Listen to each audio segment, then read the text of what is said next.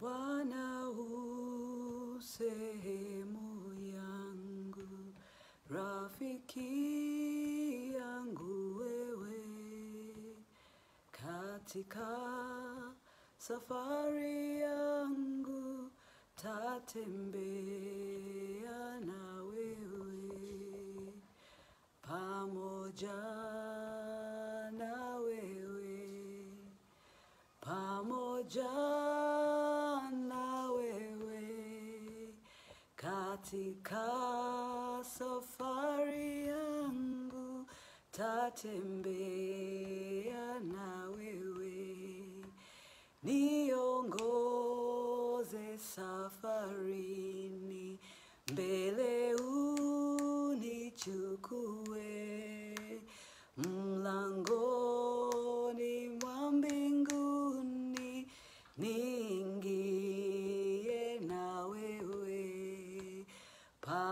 pamoja wewe pamoja na wewe mlangoni mwa mbinguni niingie na wewe Lord, we declare that even though you are a king, you're still our brother and you are our friend. And right now, as we begin this broadcast, we ask you to come and take your most high place. We ask you to come and instruct us even through the blood of the Lamb, even as we come before your holy presence and sit at your feet. Lord, I offer my members unto you, O Lord Jehovah God. Take a coal, touch my lips, O God, and cleanse them. Let the words of my mouth, the meditations of my heart be found acceptable even unto you, O Lord God, my God and my King. And Lord, we ask that not a word would be uttered on this broadcast that will not glorify you, but also that every word that proceeds out of my mouth would not be a word out of my mouth, O God, which is a fallen mouth, which is, O God, a mouth that is prone to wander, O Lord Jehovah God. But by your grace and by the blood of Jesus is a sanctified mouth, O God, and a mouthpiece for you, O God. So take my mouth, Lord, take the words that flow out of it, O God. Take the feelings, take the anointing, O God. Let it be all of you, O Lord Jehovah, King of glory. Use it for your glory. Let it come directly from the throne of mercy and grace. Lord, instruct us this fine morning, O Lord Jehovah God, even as we sit at your feet. Lord, our desire is to do your will, O Lord Jehovah God. Father, we proclaim this day even as we fast and call upon your name, O God, that we desire that would please you. We desire, O God, that would bring you glory. And we desire, O God, that you would be made known to all, O Lord God, and that the Son of God would be lifted high. We exalt you, Jesus, as the King of kings, the one who was and is and is to come, the one who came, O God, through the Virgin Mary, O Lord God, who was birthed, O God, through a Virgin King of glory and became flesh, and you dwelt amongst us, O God, and that you were crucified, you died, and you were buried, and on the third day you rose again, and you are ascended, seated on the right hand side of the Father Almighty, making intercession for us and preparing a room for us that one day we will be with you. We also acknowledge that you're the one who is in heaven as well as on earth and everywhere, oh God, for you are the omnipotent, omniscient, omnipresent Jehovah, King of glory, and we thank you that you never leave us nor forsake us. We love you, Lord, and as we continue to surrender to you our wounds, Lord, we ask that the wounds will not be glorified, but the Lord will be glorified, and we ask that the saints of God will not hurt so much as God to get caught up in the wounds and to feel as though they are at a disadvantage, but to know that you have come that we may have life and life abundantly, and that, Lord God, by the stripes of Jesus, we are made whole. And indeed, it's even for these wounds that you died and that you were wounded for our iniquities. You were wounded because we have been wounded, and therefore, Lord Jesus, because of you, you have taken every wound upon yourself, and today we are made whole. It's one of the miracles of loving you and of following you in Jesus' mighty name. Whew, amen. Hallelujah. I love prayer. And it's just the most beautiful thing. I can get lost in the presence of God. I love His presence.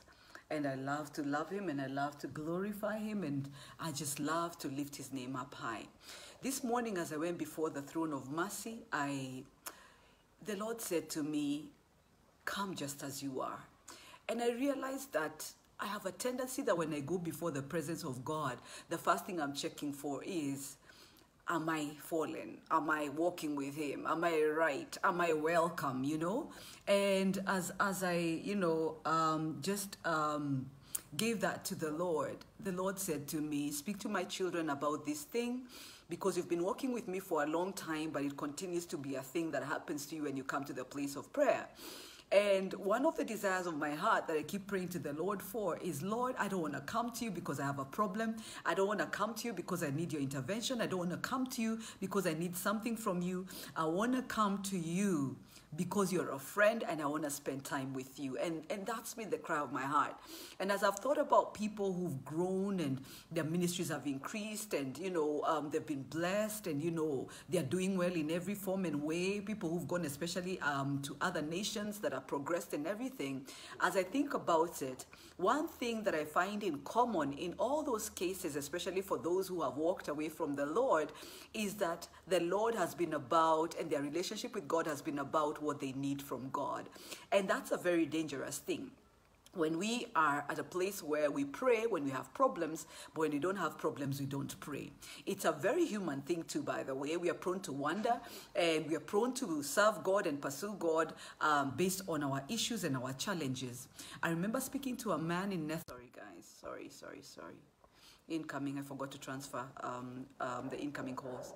So I remember talking to a man in Netherlands, and um, he shared with me about how I'd, I'd said that um, a lot of times we are interested in God and we, we want to seek God and we want to pursue God only when we have problems. When we don't have problems, that it actually, you know, we forget about God. And the guy said, in Holland, it's been many years uh, since they last had a war. And he says that during the war, people were prayerful, the churches were full and everything. But since there was last a war, um, people have not really been going to church. And that's the fact about a lot of Europe. And I think this man really gave me insight as well into things. You know, um, someone was telling me about how um, their, their, a friend of theirs went to China and moved to China. And, and she said, you know, they don't really pray much uh, because um, when they, you know, in China, there's so much progression. I've not been to China, by the way. I really desire to go. But um, it's one of the nations that I know the Lord will send me to with time. But a lot of times, a lot of us we go to you know we, we, when we go to places like those and i did share about my experience with america the first time that i went there we relax and um, you know it looks like everything's working um, you know it's unlikely that you're going to get sick. And if you get sick, uh, you know, the institutions work very well. And so it's very, very easy to get caught up in. And if you work, you're going to get money. And if you're brilliant and you're hardworking, you're going to get rich, guaranteed, you know. Unlike here in Africa, and especially, you know, not all of Africa, but some of Africa, and Kenya happens to be one of them, where really prayer is about being sustained and about living and about you know just making it through that you know um, as we head towards january and in january a lot of us will be more prayerful because you know we really need school fees we need a breakthrough we've blown our money during christmas time and really we've lived outside of our budgets and we need god to come through for us. So we are very very prayerful. Maybe it's christmas time as well. So we'll go and pray more and everything so, just going back to that, as I was meditating upon this phenomenon, um, I also found the Lord taking me back again to childhood, you know, and the Lord said, You're not done ministering about wounds. And so many of you have contacted me and told me how this wounds um, um, series has really impacted on your life. But I'm a bit concerned that a lot of you are talking about the pain you know, the pain and, and how it hurts and how you've realized that, you know, you grew up in this and this really affected you, etc., etc. And it's a good thing that the Lord has revealed that to you. However, we need to be aware that the Lord reveals so that he can redeem. So once the Lord has revealed to us, let us weep, let us mourn before the Lord indeed, because we've realized that something is hurting us. We've realized that this thing is affecting us. Of course, you know, with the memory comes a lot of pain, and um, that's what Satan really uses at the end of the day, um, so that it's too painful for you to deal with. But we must then get to the next level where we get over the pain and we get over the wounds and we recover and we get out of them. And I have shared how to do this, but I'll repeat it again. So, what you deal with, the Lord talks about in the Word of God about uprooting things. For whenever you're dealing with things and you're just, you know, shearing, you know, cutting the leaves off or pruning or whatever it is, you're actually pruning. That's what it is. You're pruning. Uh, but when you allow the Lord to, to, to help you to deal with those things and to find the root of those things and where the pain comes from and what the enemy has been using, then what you do is that you uproot. And if you uproot something from its roots, it can never grow again. But when you prune it, then it will grow, okay? So you need to be able to begin to learn with every spiritual problem, with every issue, you need to learn to get to the root of it. And you will not get to the root of it by yourself. You need to rely on the Holy Spirit, who is our helper. And the Bible says that He reveals to us the things of God. He was there since before time, so He knows, He knows every situation. He's also called the witness because He witnesses things and He sees things. So therefore, He can come and help you and give you a witness account of things. So we need to learn to walk with Him and to work with the Holy Spirit. So when you realize that something is hurting you deeply, when you realize that something affects you deeply in prayer, and a lot of times we recommend fasting too because it helps dead things to float, then you go, enter the presence of God and you ask Him to show you what is the root of this pain, what is the root of this behavior, what is the root of this belief. Every time you will find that there is a wound so Satan operates with wounds. If he can wound you, then he will introduce a lie through the wound. And then once he introduces the lie, then actually it's the other way around. Every time I say it, the Holy Spirit corrects me on this. So the Holy Spirit will introduce a lie, then through the lie, he will introduce the wound, and then through the wound. But sometimes he can do it also the other way around. Really, I'm getting the sense of that. Because sometimes the wound will be what? You'll be raped. And when you're raped, Satan will then introduce the lie. Then what is the lie? The lie will be that you deserved it, that it was your fault, that your dad wasn't there to protect you. And then when you're older, you will think that it's going to happen to you. So you always take precautions and you always have a wall guarding you and you don't rely fully on Father God to be able to protect you because at that moment you also believed he wasn't there and you didn't even take time to understand what happened and how could he allow this to happen. And that's how Satan really works in our lives. So we always have to be able to, and then sometimes it will be that he operates the other way around. He'll introduce a lie. So for example, whenever uh, someone will use abusive language towards you, whether it's your spouse who tells you how useless you are, who tells you how fat you've gotten, who tells you how you'll never make it, who tells you maybe it's other, it's a woman who's telling you that other men are better or they're comparing you to other men who are doing well and tells you you're a useless man, you, you can't do it, you can't make it, then what's happening there is that, or maybe it's a boss who's telling you how you're very lucky that they hired you and they're telling you how they'll fire you and what they're doing is that they are introducing to you wounds, okay? So they are, they are, they are introducing a lie. Then once they lie to you, so this is how it works the other reverse way. So the earlier example was where a wound is used to then introduce a, introduce a lie. But in this case now, it's a lie being used to introduce a wound. So a lie is thrown at you and you begin to believe the lie. And before you know it, you have believed the lie and you're actually wounded. And what happens is that either you're wounding other people in return or you are walking in a lie where you are not able to enjoy um, John 10, 10 of life and life abundantly. Remember that Satan comes to kill, to steal, but and to destroy, okay? To steal, please note the words to steal, to kill, to destroy, and not even the order. You know, scripture is very, very deliberate, even how things are written. Yeah. So to steal, so he will steal the truth from you. He will steal your peace. He will steal your joy. And by the way, please remember the joy of the Lord is your strength. So when your joy is taken away, suddenly you will feel weak, you'll feel tired, you'll feel exhausted, and it's purely that Satan has succeeded in stealing your joy. Sorry, incoming. He will steal, he will kill, he will destroy okay? So he will steal then after that he will kill. So anything so he will steal whatever it is you know steal the front that you're operating on. He will steal the ground that you're operating on. He will steal what you have believed in the word and everything. He will steal all that. And then what he will do is that he will kill. So that he makes sure that there is no life that is existing in you. There is no life that is existing existing in what you have believed in. And please note even with this example comes things like what? Whenever you look at a situation where somebody has back backslidden, first they will forsake the fellowship of brethren. So they stop going to church. Maybe they get a job where they're working on Sundays and everything. And we need to be principled, by the way, beloved, so that then we know the day of the Sabbath. If you're in Arabian countries, it will be on a Friday. And you know, you know that this is your Sabbath day and you protect it. You know, there's no amount of dollar, there's no amount of, of, of, of, of, of shekel, there's no amount of shilling, there's no amount of pound that can replace uh, the fellowship of brethren. So he will steal your time of fellowship, and then uh, what he will do from there is you will find yourself too tired to pray, and then you're not reading the word of God, and you're suddenly, uh, you know, kind of isolated and everything, because Satan also works with the divide and rule approach. And then after that, he will kill uh, whatever life was in you in terms of the faith in God, the belief in God, the holding on to God, and the things of God and then after that he'll begin a process of destroying your life yeah? So steal kill destroy. John 10 10 but on the other side is what the lord jesus has offered. He has said i have come. The if he says i am come okay? I am come. The new the king james version i am come. You know i am here i am here i am present. And then he says so that you may have life and then life abundantly you know? Uh, his divine power has given us every need also for life and for, for, for godliness, okay? So life, life, life. So the life is in the blood. The life is in the blood. The life is in the word of God. The life is in the word of truth. The life is in the fellowship. The word, life is in Jesus Christ. And on this very same thing, one of the things that Satan will do is he will steal um, your faith in, in God, uh, that you need to get born again. And I've met people who by all means and ways, their behavior is so Christian.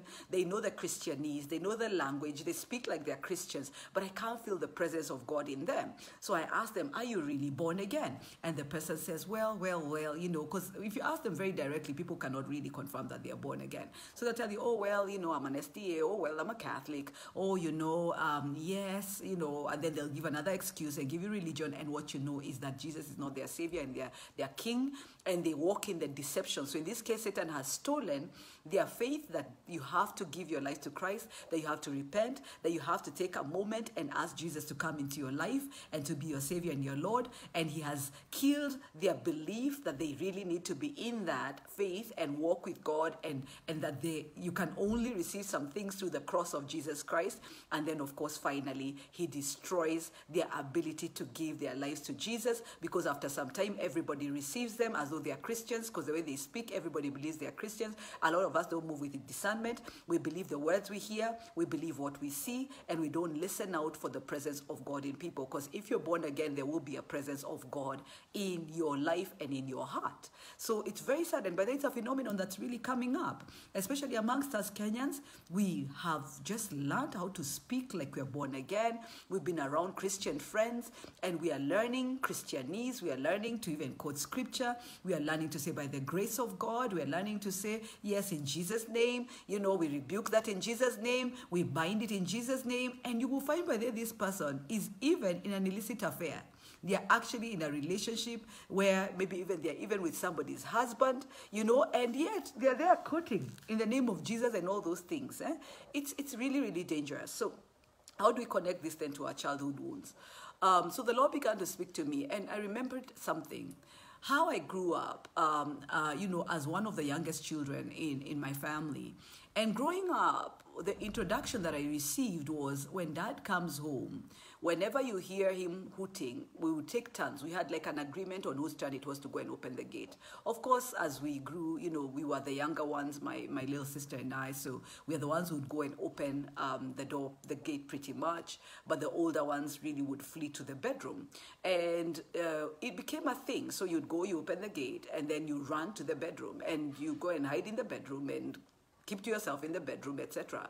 And if you were called, um, you always found yourself checking yourself and wondering, am I okay? Did I do anything? You know, you'd be trying to play through your diary and directory the whole day of, you know, as you're going, of course, you have to respond very quickly and go. You had to shout yes when you were called. You didn't just appear. You know, my children do a thing that I'm getting used to where I call them and they don't answer and then they appear, you know. So I've called like five times and then finally somebody appears. And I find it so weird, but it's like a thing that children do these days, or maybe it's a thing of somewhere else. But when we were called, you shouted and, and they said, yes, I'm coming, you know, and then you went. And then when you got there, there's a way, there's a posture you stood with, and you waited to be told what it is that you are called for. Then you'd be called, and part of the relief would be when the, the parent would turn to you and they don't, you know, they don't look at you with an angry look. And uh, you'd be anything else was acceptable, you know. And I remember for my dad in particular, if I did something um, or we had done something, if it was really serious, you'd be told to sit down. And if you are told to sit down, you'd know, bas, it's over. You're in so much trouble. And of course, you'd pick the farthest couch from from him, you know, and then um, just look down and be very sorry. And you know, yani, we repented before we were even uh, dealt with uh, for whatever it is. And then, um, of course, you wouldn't argue. You'd have to agree with everything. And then after that, uh, you would then um, know what your the consequences of your, your, your mistake are. Um, sometimes if it wasn't so big or if it was he was very very angry you know you'd stand there and then you begin to be lectured and you know he would speak very slowly and you'd do this you know. I i never want to you know or you'd be asked a question who's you? What what what what what? I remember one time by the way you know and this was now my mom um, I just finished fourth form and um, I met this lady um, and uh, no actually I, I, I, met this lady and she invited me for an Opus Dei meeting. At that time um, you know I was still Catholic. I'd been born again but I was still Catholic. And I was still really really looking for God. And she told me about Opus Dei and she invited me for Opus Dei and I was like oh okay Sasa maybe you know I'll find the depth of God that I've been looking for that I've not been able to find so I went to the Opus Dei Center um, just uh, where was it now I don't even remember, I think near Mamlaka or something like that. I don't even remember where it was. Or was it near Kianda? So I went to the Opus Dei Center. They took me around. I just remember the darkness in the place and thinking, why is it so dark? Why is it so, you know, there was just a very uncomfortable presence. And then um, finally, they took me to a place where they said, Oh, by the way, you like languages? Yes, we have Spanish. Um, I even sat down for a Spanish class. But after some time, I started to get very uncomfortable and to feel very, very weird. So, of course, I fled. And then uh, she called me. Those days we had landlines. So she called me and she says, uh, you know, um, uh, I was wondering why you're not coming for our meetings, why you've not been coming to class, etc. And they follow up. Eh? And I remember I, I came up with a lie. So I said, you know, my aunt died, so we've just been having the funeral process. I don't know why I thought that if someone dies, it's forever, you know, like like uh, we'll never get out of it and she'll never call me again. And, you know, I'm bereaved, man, you know. So I remember one day mom calling me, and I was really in trouble with mom like that. I mean, mom would just wait until when you're showering and then she'd pinch you in the bathroom, you know, so you couldn't run out naked. So hers was a little simpler to deal with. It was then then she'll be pinching you as she's asking you why you did whatever whatever so um, she called me and she asked me who died so i said i'm sorry what do you mean who died and she said um, I, I asked her what do you mean yeah what do you mean who died so i said well um, I don't know what you're talking about. So she said, Who died? So I said, I don't know. Who died? You tell me. And then she says, Which one? Is it my sister or your father's sister who died? So I'm looking at her very, very blankly because you know the thing is lying is a skill. Eh? And then she says, someone called and said, you know, like, I couldn't even explain to her what had happened. But just looking back, you know, at, at, at those things, childhood wounds, and I don't know what this aspect of childhood wounds brings to you. I've shared the other bigger wounds, these are the smaller ones that I'm sharing now. But the Holy Spirit was just reminding me this morning that you know prayer is a call. When you feel the need to pray, it's a call. So um, you, you enter into the presence of God. You've been called into the presence of God. You know, you've been ushered into the presence of God. And Hebrews 4.16 says, Come therefore boldly before the throne of grace so that you may receive mercy and find help in your time of need. One of my favorite scriptures. The Lord has also shown me through just heavenly, um, being taken into heaven, how Satan approaches the throne of grace. That he doesn't do it um, confidently the way we do. He comes very, very scared into the presence of God. And if, as a child of God, you come scared into the presence of God, or you come, and I know we are told to come reverently, but reverently a lot of times doesn't I don't think it was ever explained to us as, you know, knowing that God is, is, is fire, is a consuming fire, etc., etc., etc. But then we are living in an age where Jesus died on the cross, and so the veil was rent already. So when we come, we're supposed to come to spend time with our Father, to come and spend time with our big brother, to come and spend time with the King, and of course, spending time with the Spirit of the living God. But it's fellowship. It's fellowship. It's something, it's a gift. Prayer is a gift, and it's something that we've been given to enjoy. Prayer is supposed to be an enjoyable time. And by the way, I found a direct correlation between when I pray and whether I'm anxious or not. I found that when I pray, I'm not anxious about anything. When I pray, I have courage. When I pray, I'm able to go out and just do just about anything by faith without being afraid. But if I don't pray, I begin to worry. I begin to think about, oh my, you know, I begin to think about things like, you know, things that we were taught in, as children and who are taught, uh, you know, I remember my mom's voice, and this morning I don't know why it was so loud. My mom always used to say, if you don't work, you don't eat.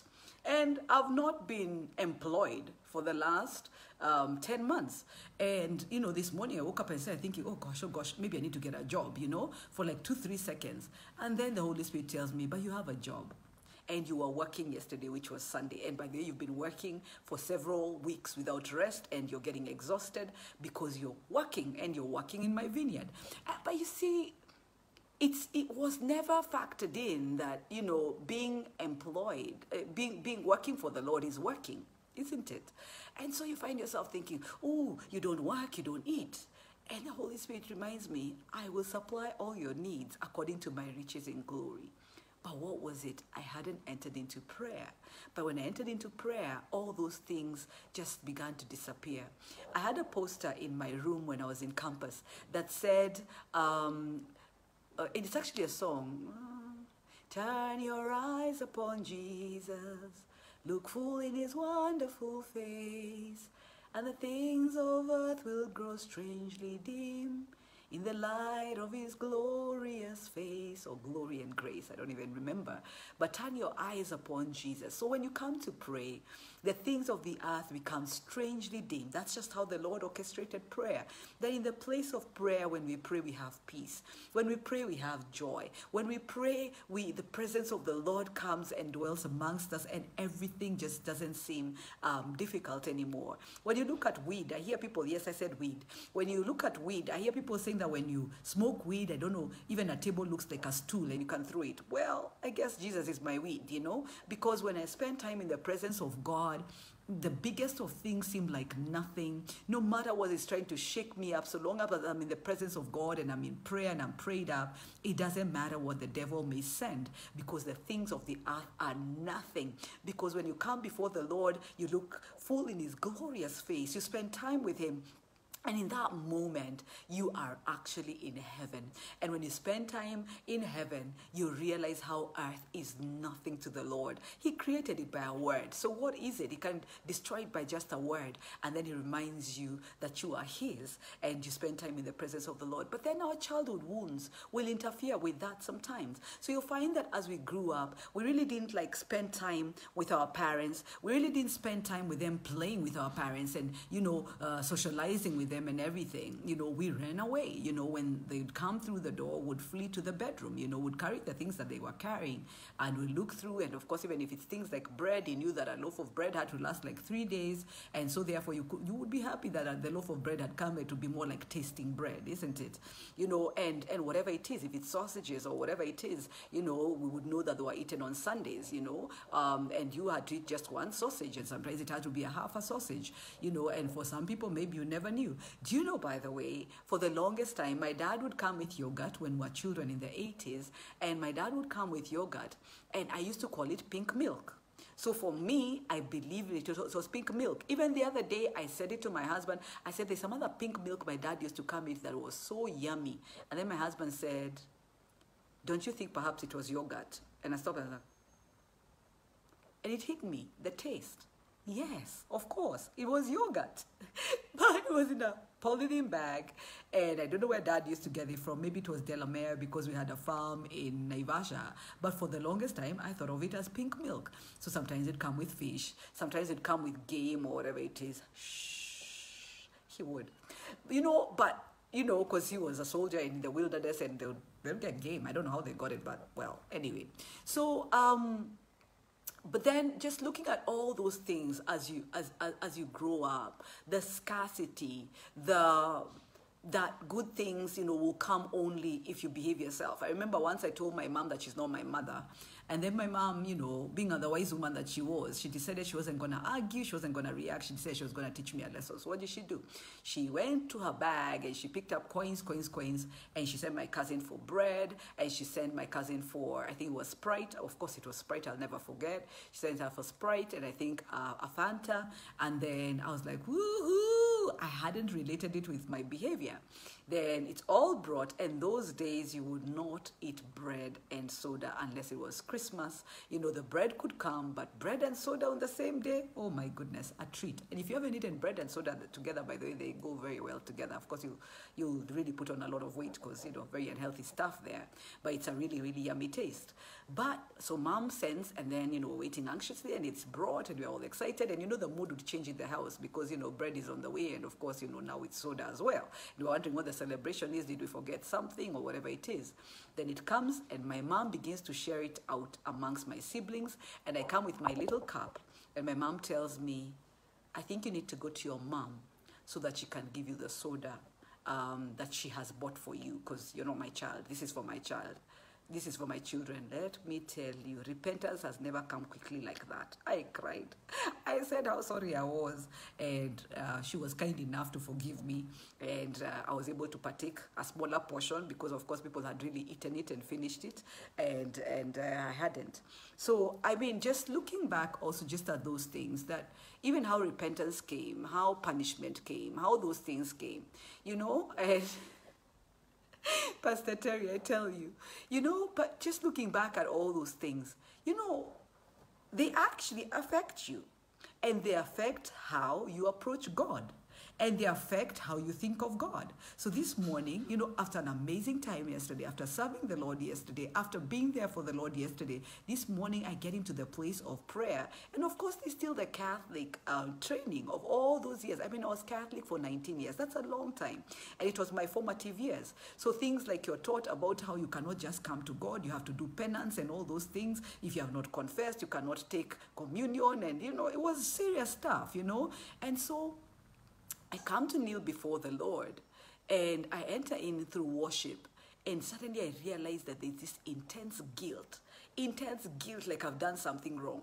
So I'm searching my heart, I'm asking the Holy Spirit to search my heart. And the Holy Spirit says, There's nothing. And he says, We are pleased with you. We love you, you know, and and um, you know, we, we, we, we, we are there for you, you know, the Spirit of God. Oh, hi, Mary, good to see you. Oh, my goodness, that's my cousin from um, all the way in Australia. Love you, honey, I miss you. I hope you're coming home soon. Um, and um, so just looking at this whole thing, and, and the Holy Spirit says there's nothing. And I'm not saying that I was without sin, yeah? But He allowed me to see no sin in me this morning and tell me, change how you come into my presence. And I realize it's true. You know, and I'm a servant of God, and I feel that way. So, how about the rest of us? Will we come before God because we're in need? Will we come before God because we need, there's a problem? Will we come before God and fear that we're going to be struck? You know, there's a story that I was told at some point, and it, it's a biblical story. In the Old Testament, when the priests went to the, before the presence of God, they tied a bell around their feet and, and a rope so that if things were thick, they would just pull on the rope. And if they, by thick, I mean they'd get into the presence of God and they'd find that God is angry with Israel and was ready to destroy them, they would try to ring the bell so that they are pulled very quickly out of the presence of God. Of course, if God wanted to destroy them, He would destroy them there and then, you know. Um, but then, you know, they, they, they got to escape sometimes, you know. But as I look at it, there's a sense in which, as a priest, that is so ingrained in me. And it's a good thing in terms of not taking the presence of God for granted. It's a good thing in terms of fearing the Lord. But it's a bad thing in terms of that you just carry this guilt with you, you know? And, and when you come to the place of prayer, it can actually become a veil. You know, the veil that was already rent, it can become a veil. So we need to be able to, two things that the Lord is saying to us this morning.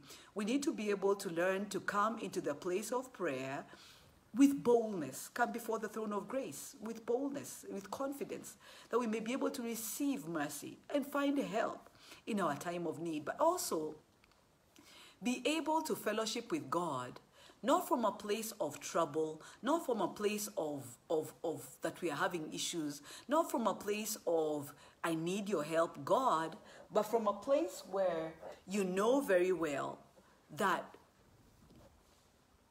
I'm coming because I need you, Lord, and I just want to spend time with you. I want to fellowship with you. I want to interact with you. I want to love you. I want you to work on me. I want your presence to rub off on me that, you know, I'll be like you. I want to learn from you. I want to serve you. You know, it's not from a place of help me, help me, help me. Yeah? So that's one thing. The Lord wants us to come before His throne, not just when we have problems, but prayer becomes a habit because God is our friend, because God is our King, and it's also a place of obedience. And we realize that we need to pray so that we can have strength for every day and so that we can honor the Lord in everything. Then the second thing is just to get rid of the guilt. So the get rid of the guilt of feeling as though, you know, when we come before God, He's angry with us, He has an issue with us. Some of us think that Angel Gabriel stands with uh, an eraser, you know, um, and, and blotting out our, you know, our name from the book of life when we sin, and then writing it back on, and then blotting it out, and then writing it back on. And we think that Angel Gabriel has nothing else to do, and God is nasty like that, and it's based on our childhood wounds. It's based on our childhood wounds. And the Lord has been reminding me, especially this week, that He loves me and that He loves us. And that, you know, His love uh, is not even because you're born again. You can deny the Son of God and God still loves you, you know. He will still love you because He created you and He loves us, you know. The Lord loves us. And we need to allow that to seep in because a lot of us don't believe that we can be loved. A lot of us don't believe that we, there's anything to love about us. And what is it about? Because in our formative years, we never got to hear our parents say, I love you. We never get, got to hear our parents tell us you're great. We never got to hear our parents tell us you're beautiful. We never got to hear our parents saying good job unless maybe you brought in good grades, you know. And even when you brought in good grades, a lot of times your parents would be focused more on the D that you brought and not the A's that you brought, you know, and they'll be comparing us with our siblings and everything. And the thing is, by the way, we need to forgive our parents because they didn't have Google, they didn't have parenting lessons, and they came from an era where their parents had been in you know mau mau they'd been caught up in the colonial times and and the parents before them were illiterate and we need to just cut them some slack because they did the best that they knew how the other day, my daughter came home, our last born, she came home. She just joined a new school and she came home and the school has um, a mixture of older children and younger children. And well, you know, because younger children, if you look at it, toddlers, you know, because she was a toddler at the time, toddlers, um, there's a shape that they have. Their body has a certain shape. They all have big heads, and then their bodies look very small. Their torsos look very small, and then of course they have big stomachs, all of them pretty much, and of course a lot of them are chubby. Yeah, but pretty much that's how they are. All toddlers are just that's how they are. It's part of the development stage. Their heads really look big compared to the rest of their bodies. And my little girl, so they wouldn't tease each other based on that because they all look like that. So when they look in the mirror, they all look like that. But we took her to a place where there were older children and younger children, and we hadn't preempted this. And for the parents who maybe are hearing this for the first time, preempt it and prepare your child to be able to recognize their age and where they are at and everything. So my little girl comes home and asks, Mom, what's a tumbo? And I feel a dread in my spirit as she's asking this. And then, um, so I tell her, um, it's a stomach, you know? And then she said, I thought so. And she looked down and she looked so broken. So I asked her, what is it about your tumbo, you know, stomach? You know, what is it about your stomach? And she says, well, this girl told me I have a big tumbo. And I said, well, baby, you do, but then so does everyone your age. But it, it's like, by the time I was reaching her, the harm had been done. And I kind of just went through it quickly because um, I was driving. I guess I was also a bit, you know, distracted, but I also didn't realize how much it had affected her. Until a few weeks later, I hear my nanny saying, Stop it, stop it. And I'm like, What is it? And she comes and she tells me there's something happening with your little girl. She, nowadays, she's been hiding food and throwing it in the dustbin. So I go and I sit down, my little girl, and then suddenly the Holy Spirit reminds me about the tumbo comment, yeah, the stomach comment, the big stomach comment. And I realized that my little girl is actually not eating her food and she's throwing it away and hiding it. And what she's trying to do is to lose weight. So this is teenagers for you, you know, and preteens for you. That you know, having a big stomach is a big issue because, of course, of the models that they've seen on TV and the newspapers, and of course, their their their parents um, who are telling them that, oh, you know, I have a big stomach, and that's a big bad thing. And so she picks on the little girl and tells her, you have a big stomach. And my little girl suddenly is trying to lose weight. And she's lost a lot of weight, by the way. And, um, you know, I've just been taking a lot of time to just let her know that she's beautiful. But she was cast out of her toddler age very quickly to begin to think that her definition comes from having a flat stomach. And we need to be very, very alert with our children. Yeah. We need to be very alert with our children. We need to be aware of how our children are and how they're growing up. And we need to be very alert and look out for the wounds and to look out for the lie that Satan will try to introduce. I mean, Satan has no shame. He will tell your two year old they have a big stomach and that they are ugly because they have a big stomach. He will even go down to the place of telling your little child, you know, that they, they don't, their butt is flat or whatever it is, or they don't have a big enough backside. And your child will have issues and you wonder what are they supposed to do about their backside? You know what are they supposed to do about genetics? What are they supposed to do about their hair that's not growing? What are they going to do about their skin color? What are they going to do about the size of their lips? What are they going to do about the size of their busts a lot of these things are very very genetic. And if we're not careful these wounds really really define us. My grandfather clock is at it it's gonna ring for a bit. It's 10 o'clock.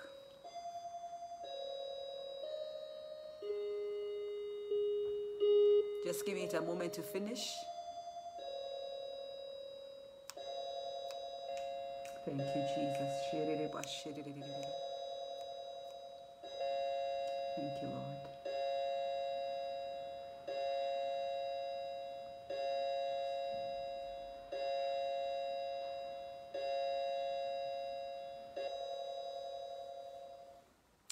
It's done doing its work. if you haven't watched the video, I'm talking about the grandfather clock, then you'll understand the joke.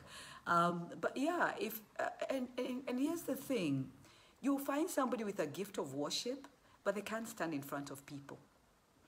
You find somebody with a calling of God on their lives, and they cannot preach. You know, and um, even personally for me, when the Lord told me to go onto the online broadcast, I was saying, God, not my face, not my face, not anything but my face. You know, I tried to find things like podcasts and everything, and I didn't know how to do it and everything. And it's just that I've learned to obey the Lord. Because I grew up being called ugly duckling, you know, by one of my siblings who swears she never did that, you know. But it was just something that Satan planted on her. And I grew up thinking I'm ugly, you know, and I don't look good. And therefore, of course, Satan already knew that I was going to be a preacher. I was going to be a minister of the gospel. So he needed to try and destroy my opinion of how I look so that I may think that, you know, my preaching has anything to do with how I look. It's got nothing to do with our looks at all because it's not about us. It's about the Lord, you know. But you see the lies that Satan will try and plant. And then so just look out for wounds in your life, you know, and look out in the wounds you will find lies, and in the lies you will find wounds. And then the, the next step is to ask God to reveal to you when this door was opened and when this wound was introduced or when this lie was introduced in your life, the Holy Spirit will take you to the, the, the, the, the early childhood every time because a lot of these wounds are in the early childhood and then in that early childhood, the Lord will be able to reveal to you um, what lie was introduced in that place. You can forgive the person who introduced the lie. You should, you must, by the way, to be able to be free, you must forgive the person who introduced the lie. And in some cases, the person who should have been there to protect you from that lie, who should have been there to affirm you and to tell you how you look and that you're important and everything. Most of the time, this is daddy. And uh, daddies are the ones who give us our identity. Yeah. Or, you know, in terms of teaching, it would be mommy who's supposed to be teaching and to nurture trying to comfort you, and you take time to forgive them that they were not there, that they, they did not, um, you know, encourage you, and it helps to think of the fact that they didn't maybe know about it, you know, so that when you're forgiving, it's easier to forgive that way. So once you have forgiven, then you renounce the lie that Satan has introduced, and then once you renounce the lie, um, Once you renounce the lie, then you're able to ask God to tell you what the truth is to replace that lie, and then you begin to speak the truth and to proclaim the truth about that aspect, you know, that it could be that you're fearfully and wonderfully made, that you're the apple of God's ever loving eye. One of the things that amazes me, especially whenever I comb my hair, is the reminder from the Lord that He counts even the hairs on our heads. And if even one falls off, He actually notices that you've lost two strands of hair, you've lost four strands of hair, you've lost 500 strands of hair, or whatever it is. But every aspect of us, the Lord really cares about. So it's very, very critical that we deal with our wounds um, and we begin to walk in the truth of who God says you are. And we must not get caught up in, oh God, I'm so wounded, you know. And when you watch these videos, it will hurt. It will hurt. Why? Because the Lord is speaking very directly into your life. This is a Rhema word. This is something that the Lord is ministering to His church right now. And He is just helping us to clean house so that then uh, we can be able to receive from Him. You know, I'm going to go back again to sharing of a time when I used to pray with about five people. Were about maybe six or seven people actually. About six or seven people. And we prayed every day for revival. 2013, 2014, we prayed every day for revival. Sometimes we'd meet in the morning pray for revival. Then we'd meet at lunchtime, pray for revival. Then pray in the evening for revival and would weep before God, would fast. We're go into 40 days of prayer and fasting. As I look back now, I'm learning that a lot of Christians, when you call a fast, they don't fast. They just lie that they're fasting and would, you know, be on the floor calling on the Lord and crying to God and weeping before God. Morning, noon, uh, evening, night, you know, we'd just be calling on God. And our cry was revival, revival. 2013, 2014. And then one day, as we were pitching a tent, suddenly we noticed that our compound, our, our, our uh, where we are, uh, I'm trying to learn the, the word to use for compound because Americans and, you know, guys in the West don't have a word compound. So this is where your house is, you know, um, the, the area. So we noticed that the place where the church um, environment was, which was in uh, at the time, that it had light and our light was not working so it had light but then the next uh, um, house next to us and the other ones around us they were dark you know even though they had light but there was darkness but there was no darkness in the place where we were the compound where we were. Um, you know there was no darkness. It was bright as day you know and it was like the sun was shining. And um, suddenly we looked up and we realized that there was a, a white bright brighter than a fluorescent light bright white rectangle just above us where we were pitching the tent. And the light was coming from heaven. It's like heaven was completely open. Let me tell you, the people I've been praying with for pretty much almost a year, um, day and night, 2013 into 2014, all of a sudden they scattered. They scattered, they ran for shelter, they hid under the tent, they hid under all sorts of places. As I look back, it's funny now. But at that time, I cried. I went and got into the car and I cried because, of course, the moment that we did that, the glory that was above us disappeared because that's the Holy Spirit. He's grieved so easily and he withdrew and darkness fell over the compound and i thought that was revival that was falling right now and I got into the car and I drove and I cried all the way home and I cried the whole night and I cried for several days, you know. And the thing is, when we don't understand who God is to us and who we are to Him, when revival comes, we will flee. We will cry for revival. But when the glory of God comes, the wounds that we have where we think we're not good enough, the wounds that we have where we think there's something wrong with us, the wounds that we have, which by the way also cause us to live a life of sin. When you're a wounded person, you will live a life of sin. Whether it's the sin where you are angry with yourself and you have low self worth and you're suicidal, which is a sin, um, or whether it is, um, you know, just thinking that other people are better than you and you don't deserve the glory of God, and so you gauge yourself based on human beings and the lies of childhood, or whether it is that you think God's mad at you, or whether it is that, you know, as a result of the wounds you have, you're now walking in sexual sin, fornication, lying, um, you know, taking shortcuts and bribing when it comes to business because you don't think God can come through for you, those wounds will define how you're walking, and normally a wound will cause you to walk outside of the will of God and the purpose of God for your life. And did you know that doubting the love of God, that praying and thinking that God's not going to come through for you, that even coming with humble words like saying, God, if you have a moment for me, that that is actually sin, because you insult the personality of God. You insult the person of God. You insult the character of God. And indeed, you negate the word of God that says that he has loved us with an everlasting love.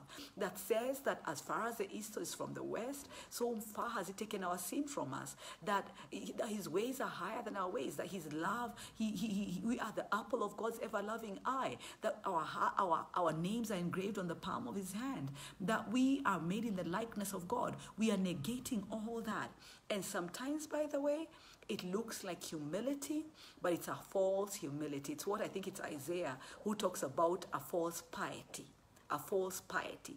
So we, we think that we are pious. We think that we, we, we are really being holy when we put ourselves down, when we say, God, I'm such a sinner.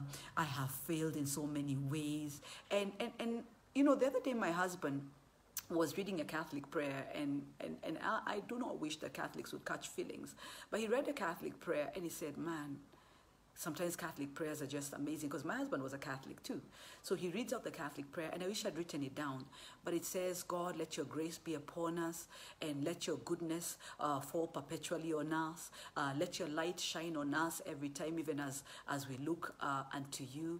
And then it says, and, and let your grace be even more upon those who need your grace more than others. And you're like, who are these people who need God's grace more than others? And it sounds so nice.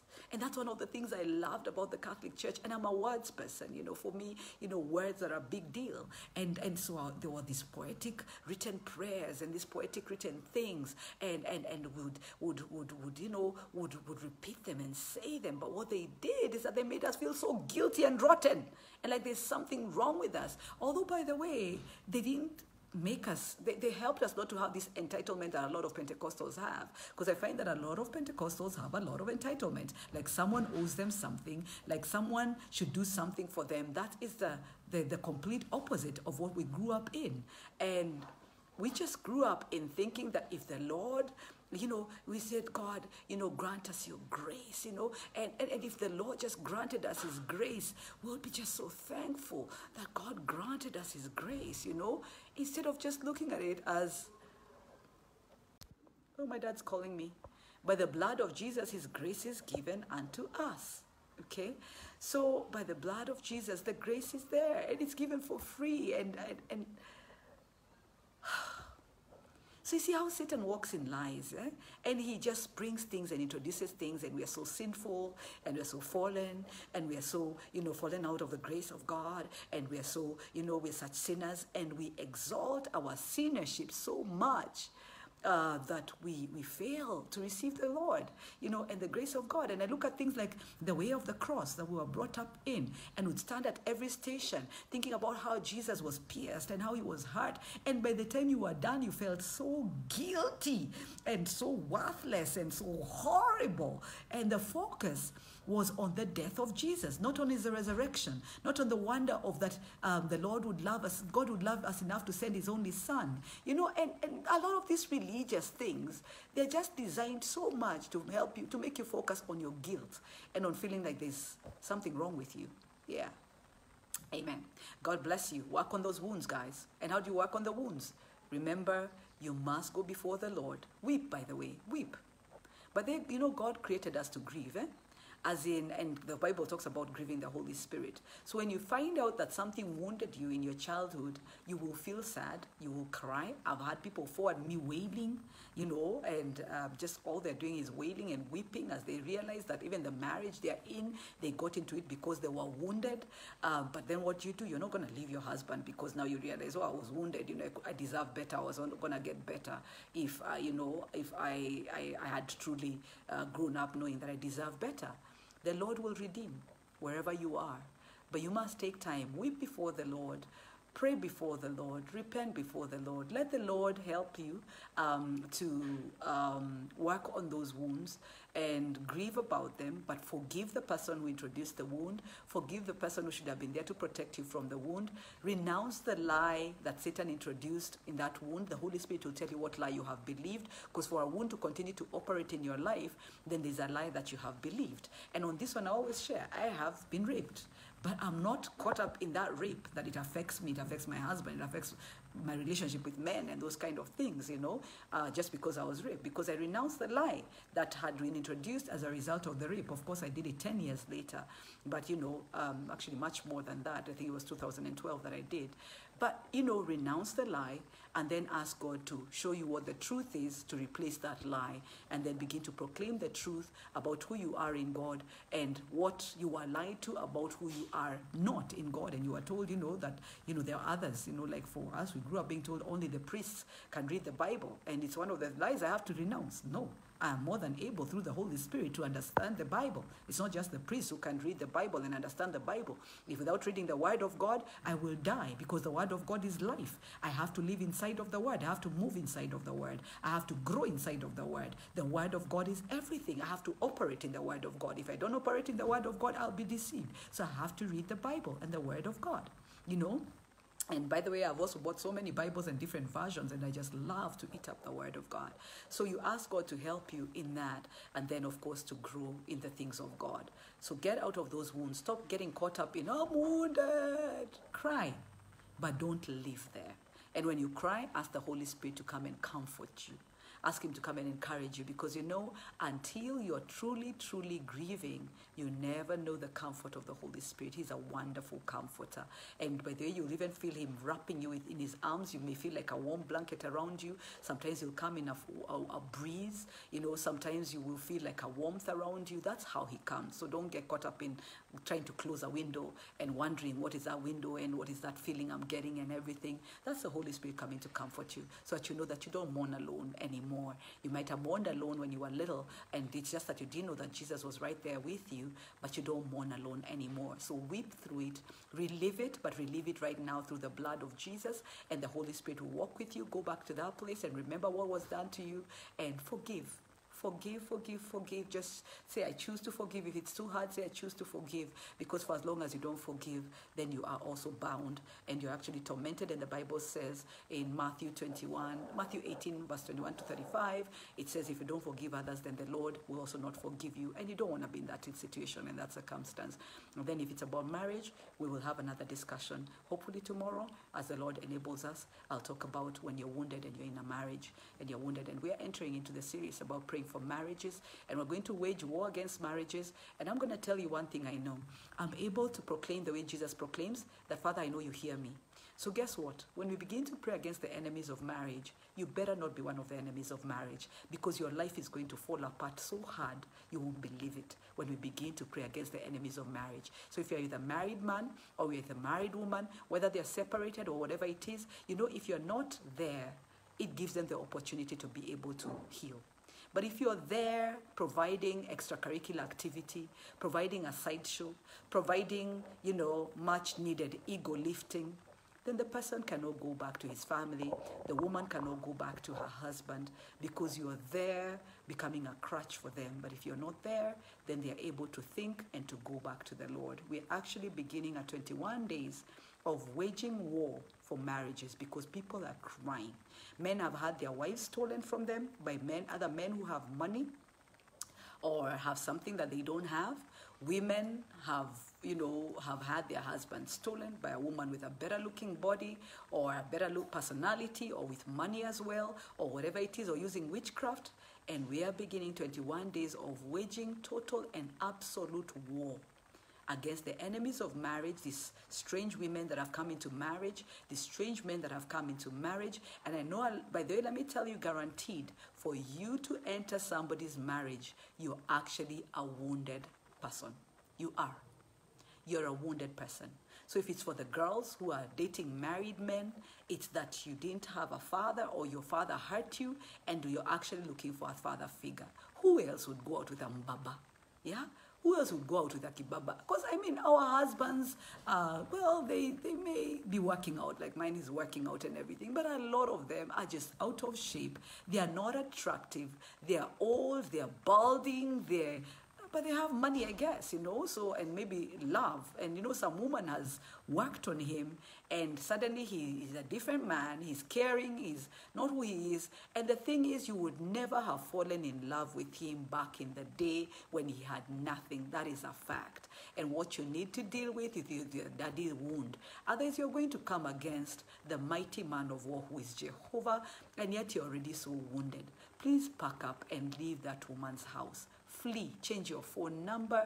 You might have a child with that person, but you can have an account where the, where the person makes the payment into the child's account, and you know the, the cares of the child are taken care of because the child is innocent. However, you just need to leave that other woman's home and that other woman's husband. It is time, and you know it is time. Okay? And I will do a proper appeal before we begin warfare you know, I will do a proper appeal. I will. It's the least that we can do because the devastation that's going to come to you and even those babies you had with the wrong person, with the married man, they, they, that you're using now, they could die. They could die. Remember David and Bathsheba? They could die.